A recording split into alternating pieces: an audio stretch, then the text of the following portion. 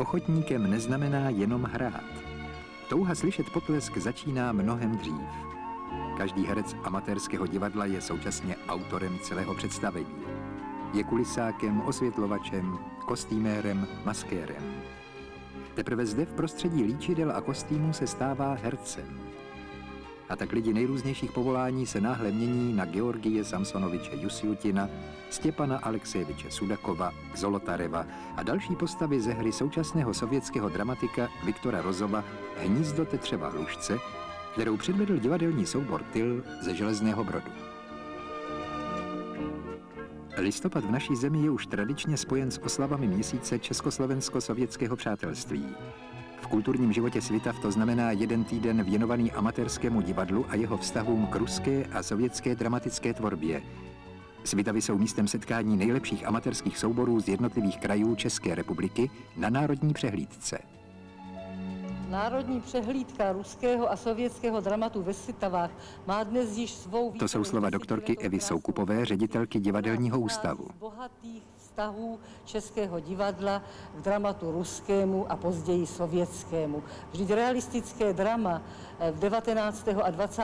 století ovlivnilo tak silně vývoj našeho hereckého a eh, režijního umění, stejně tak jako Velká říjnová socialistická revoluce udala úplně nový směr naší divadelní avantgardě. Nechoďme ale ani tak daleko, vzpomeňme si jen na rok 45 kdy sovětské drama nám nahradilo nedostatek nového dramatu pro nového diváka, který přišel do našich divadel. A proto si jen můžeme přát, aby naše vzájemné vztahy byly co nejbohatší, aby byly co nejplodnější a bojovali za velkou věc, za kterou divadlo od svého počátku bojuje, za trvalý světový mír a pokrok lidstva.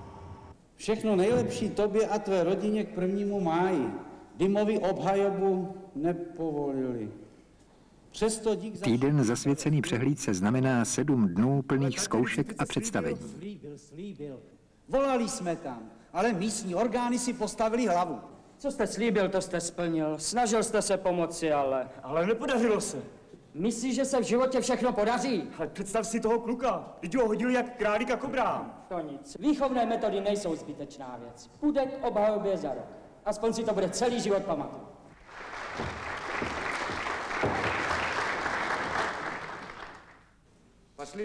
Nesoutěžním hostem přehlídky bylo i Lidové divadlo z města Vyborgu v Leningradské oblasti, laureát Všesvazového festivalu divadelních amatérských souborů. Tak, tak, tak, tak, tak, stop, stop. Poblíže головочки. Hře, kterou připravili pro festivalové diváky, hovoří režisér Boris Furne. Вы знаете, я думаю, что всех людей волнует... Domnívám se, že všechny lidi trápí problém dobra a zla. Mladý autor Michail Vorfolomějev napsal komediální hru Svatý a hříšný o problému volby mezi dobrem, zlem a zlatou střední cestou. O tom, jak se rozhodne, je naše hra a s ní jsme přijeli na tento krásný festival do světa. Вот об этом наш спектакль. С ним мы приехали на этот прекрасный фестиваль в Светавы. Так, поехали, да?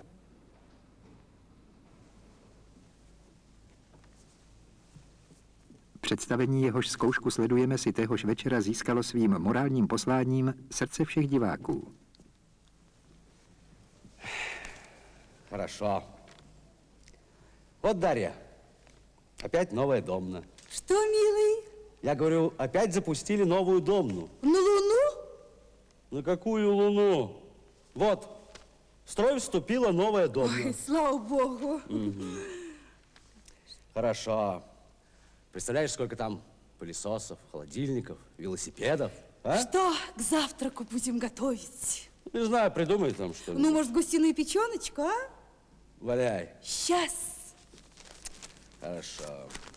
Лиза, телефон. Одну минуточку. Kolchozu Pavla už je rozdílná. Nejsou to úplní vrstevníci, ale každý z nás nachází... Pravidelné semináře, kterých se zúčastní porota a jednotlivé soubory, jsou opravdovou tvůrčí dílnou ochotníků. Z úst profesionálních umělců tady slyší rozbor svých představení. A potom se seminář mění na diskusní klub. Probírají se jednotlivé složky představení a ochotníci si tříbí názory na vlastní práci. Ale pro všechny zúčastněné byl rozhodující názor poroty, které předsedal zasloužilý umělec Milan Friedrich, šéf činohry jeho českého divadla v Českých Budějovicích.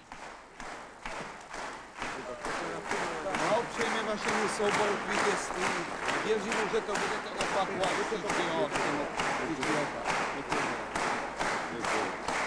Velice srdečně blahopřeju k úspěchu. A ještě mnoho dalších a dalších úspěchů. Já vám asi přidám ten pohár. A co se vám na tom nezdá? Každý mluvíme sice o jiných křídlech, ale se stejnou láskou. Nenašla by se tady někde minerálka? Nebo třeba sodovka? Ne, tady nic takového není. Ale když je to na tu usmířenou, nalijte mi taky z té láhve. Ale to přeci nejde. Ale jde, jde. Zaslechl jsem našeho Androleja, komu si dneska říkal, že teď už můžu všechno. On je teďka můj hlavní doktor a ten, když něco poví, tak to platí. Tak na co se napijem? Na čápy? Nebo na skřivany?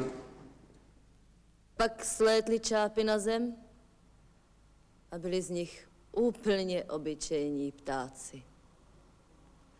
Celý život vzpomínám na tuhle chvíli.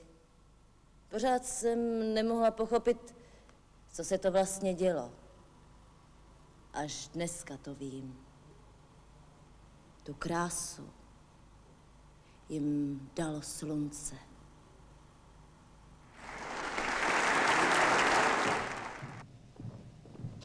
Každý úspěch zavazuje. Soubory zkoušejí nová představení, protože obhajovat dobré jméno je často těžší, než je získat. jsem vám oznámit, že zítra odjíždím. Nepovídejte. A kam? Do Moskvy. V neodkladné záležitosti. Ruská a sovětská tvorba Hovoří Bohumil Gondík, režisér souboru. vždycky přitažlivá. Je přesnější, údernější, kritičtější a satiričtější. A myslím si, že toto jsou důvody, proč eh, sovětské hry i nakonec klasické ruské hry hrát. Koncem roku se sejdou na 12. ročníku ve Svitavách s tvorbou ruských a sovětských autorů přátelé amatérského divadla.